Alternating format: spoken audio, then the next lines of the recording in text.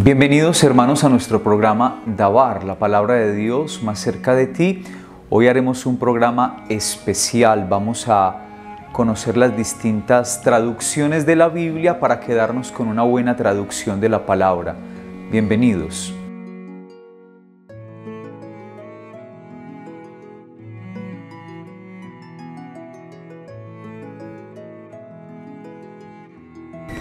Bienvenidos hermanos a nuestro programa Dabar, la palabra de Dios más cerca de ti, un programa bíblico que prepara con tanto amor el Centro de Comunicaciones de la Diócesis de Armenia. Tengo acá en esta mesa varias traducciones de la Sagrada Escritura, se las voy a presentar eh, a grosso modo. Tengo acá por ejemplo la Biblia Católica de los Jóvenes, esta es una Biblia clásica, eh, muy cómoda, muy interesante que además de tener la palabra de Dios, eh, también tiene catequesis juveniles muy interesantes. Se llama así la Biblia Católica para Jóvenes.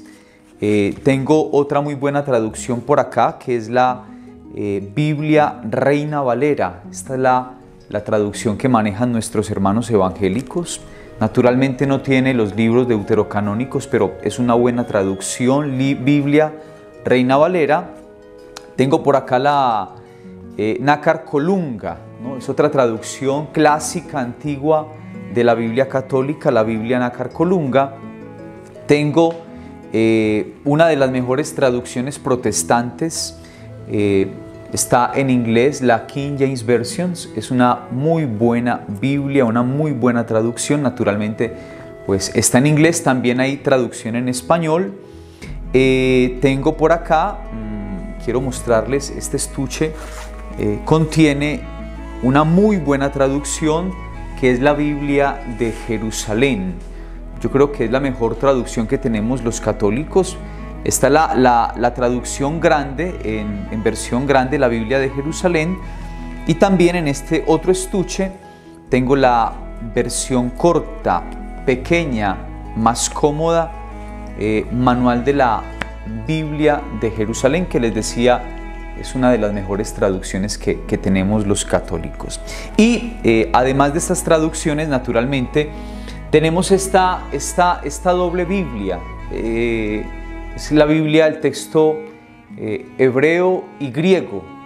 aquí está la, digamos así, está la, el Antiguo Testamento, que es esta parte, la Biblia Stuttgartensia, eh, con todo el Antiguo Testamento en hebreo, naturalmente se lee de derecha a izquierda, y luego tenemos el Nuevo Testamento que es el clásico Nestle Alan, última edición 28, donde hay más de 6.000 manuscritos griegos de la Sagrada Escritura. Entonces, en ese orden de ideas vamos a cotejar un poco las Biblias que tenemos acá para acercarnos esta mañana a, un buen texto, a una buena traducción. De todas maneras, toda traducción de la Sagrada Escritura es una traición.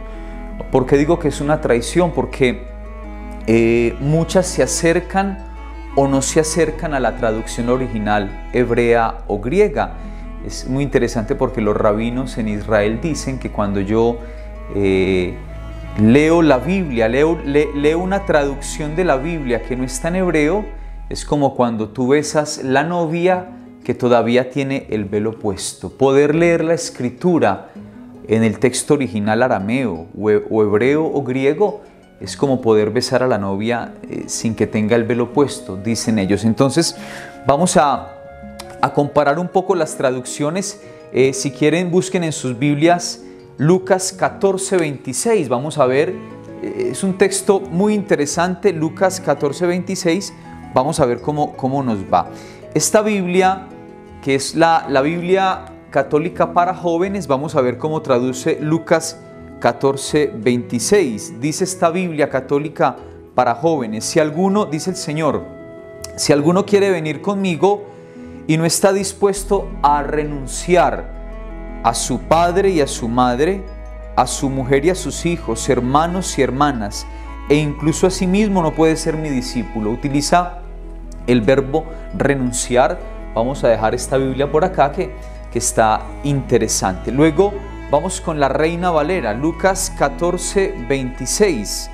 Vamos a ver qué traduce la Reina Valera, Lucas 14, 26. Dice, si alguno viene a mí y no aborrece a su padre y a su madre, renunciar y aborrecer. Reina Valera, si no aborrece a su padre y a su madre y mujer e hijos y hermanos y hermanas, y aún también su propia vida, no puede ser mi discípulo.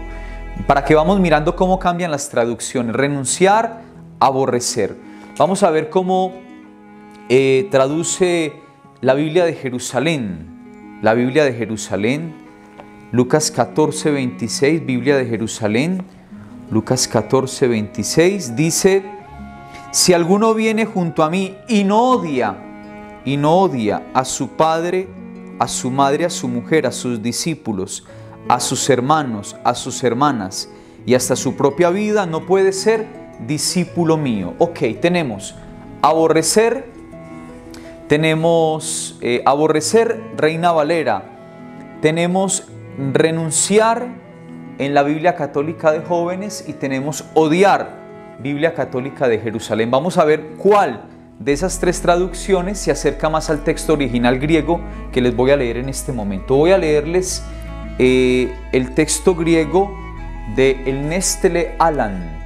Esta es una versión que tiene más de 6.000 manuscritos en griego. Naturalmente, cualquier persona pues eh, puede, puede, puede adquirir y tener este texto bíblico en griego que es muy bello, es muy interesante y que naturalmente te puede acercar más al estudio de las Sagradas Escrituras. Voy a leer entonces Lucas 14, 26. Eh, Voy a tratar de leer en griego eitisergeta y prosme kai umiseitu patera e autukaiten metera kaiten ginaika kaitatategna aitus adelfus kaitas adelfas etite kaiten siken e autu u dinatai einaimoi macetes. Qué traducción tan interesante. Dice acá, si alguno viene a mí y no odia, y no odia, el texto original griego utiliza el verbo miseo, que en griego significa odiar. Aquí es donde viene lo interesante. Si el Señor nos dice, ámense los unos a los otros, porque el Señor nos dice acá, si no odian a su papá y a su mamá, a sus hermanos, a su esposa, a sus hijos, no pueden ser discípulos míos. Hay dos explicaciones muy interesantes. Naturalmente, el Señor nos invita primero a odiar nuestra manera tan esclavizante y tan dependiente de amar al otro, sobre todo cuando yo pongo al otro por encima de Dios. Pero viene la segunda interpretación aún, mucho más interesante. Resulta que se trata de un arameísmo, una manera de aramea de, de hablar, así como cuando en español decimos me estoy muriendo de amor, no es que me esté muriendo de amor, es una manera de hablar de, del amor en un grado superlativo. Cuando en griego, cuando en arameo decimos el que no odia, es un modo arameo de decir que el Señor no quiere que antepongamos nada ni nadie a su seguimiento. O sea, el seguimiento de Jesús, el seguimiento de Él, prima por encima de todo lo demás. Primer ejemplo. Entonces, ¿Cuál de esas tres traducciones se acerca más al texto original griego? Por el momento, la Biblia de Jerusalén, el que no odia a su padre y a su madre. Entonces, este primer round lo gana la Biblia de Jerusalén, la Biblia católica de Jerusalén. Vamos a hacer un segundo ejercicio. Abran sus Biblias, por favor. Vamos con otro texto muy bello. Marcos 8:33. Marcos 8:33. Marcos 8:33. Voy a abrir aquí la Nácar Colunga. Vamos a ver rápidamente qué dice Marcos 8:33. Es el texto cuando eh, Pedro increpa al Señor, Señor, no te puede pasar la cruz, no te puedes morir. ¿No? ¿Y qué hace el Señor? Lo coge aparte y ¿qué le dice a Pedro? Vamos a ver qué le dice el Señor a Pedro. Marcos 8, 33. Eh, Ánimo hermanos, eh, este segundo ejercicio va a ser aún mucho más interesante. Eh, Marcos 8, 33. Pero él, o sea Jesús, volviéndose y mirando a sus discípulos, reprendió a Pedro y le dijo, Quítate allá, Satán, pues tus pensamientos no son los de Dios, sino los de los hombres. Quítate allá, Satán. Una traducción muy interesante. Vamos a ver qué dice la Biblia eh, Reina Valera, que entre otras cosas es una buena traducción de la Sagrada Escritura. Es la Biblia que manejan nuestros hermanos separados evangélicos, no, no los testigos de Jehová. ¿no? Ellos manejan la otra versión mm, muy, muy eh, lejos de la traducción original. Y algún día discutiremos eso porque 8.33. Miren lo que dice la reina Valera. Pero él, Jesús, volviéndose, mirando a sus discípulos, reprendió a Pedro diciendo, Quítate delante de mí, Satanás, porque no pones la mira en las cosas de Dios, sino en las de los hombres, sino en las de los hombres. Entonces, tenemos eh, que la Nácar Colunga 8.33 traduce, quítate allá, Satán. La Reina Valera traduce, quítate delante de mí, Satanás. Vamos a ver cómo traduce la Biblia de Jerusalén.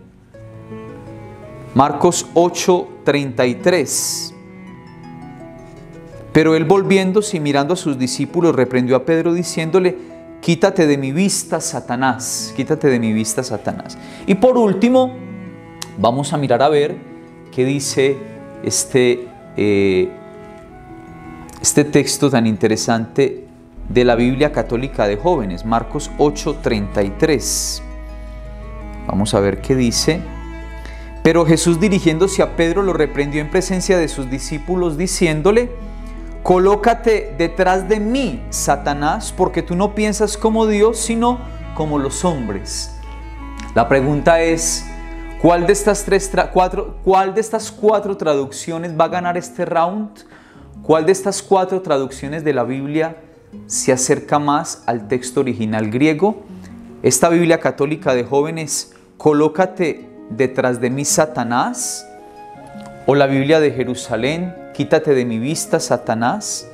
O la Biblia Reina Valera, quítate delante de mí, Satanás. O la Nácar Colunga, que traduce mm, quítate allá Satán. Vamos a ver qué dice el texto griego. Voy a leer el texto griego, Marcos 8, 33. A ver qué dice el texto original griego. Jode epistrafeis kai idontus autu epetimesen petrokailegei hipago hopisoumu satana Hipago hopisoumu Satanás. Ponte detrás de mí, Satanás. Es muy interesante porque la traducción que más se acerca de estas cuatro al texto original griego es la traducción, en este caso, la Biblia católica de jóvenes. Ponte detrás de mí, Satanás. El mismo verbo que Jesús utiliza cuando llama a los apóstoles para decirle, vengan detrás de mí y los haré pescadores de hombres. Pedro ha perdido el rumbo del discipulado. Pedro quiere un discipulado sin cruz, sin sufrimiento. Por eso le dice al Señor, Señor, tú no te puedes morir en la cruz. ¿Y qué le tiene que decir Jesús? Jesús no le dice, apártate de mi vista, Satanás. Jesús no le dice, quítate de mi vista, Satanás. Jesús no le dice, apártate de mí, Satanás. ¿Qué le dice Jesús? Hipago hopisoumu, Satana ponte detrás de mí, Satanás. Es decir, vuelve otra vez a ser discípulo. Vuelve otra vez a entender que no hay resurrección sin cruz, que no podemos contentarnos con un cristianismo light, fácil, sin sufrimiento. Ponte de mí, ponte detrás de mí, Satanás, vuelve a seguirme, no, vuelve a ser discípulo, porque Pedro no has entendido nada. ¿No te has enterado todavía que no hay resurrección sin cruz? Muy bien, pues ánimo hermanos que podamos nosotros a través de este espacio precioso poder seguir conociendo la palabra de Dios y que tú puedas valorar la traducción de la Biblia que tienes. Si eres católico, eh, ¿Qué, Biblia te recomiendo? La Biblia de Jerusalén, yo creo que es una muy buena traducción, sobre todo la Biblia grande, que tiene paralelos y puedes eh, hacer un buen, una buena escrutatio, una buena lección divina.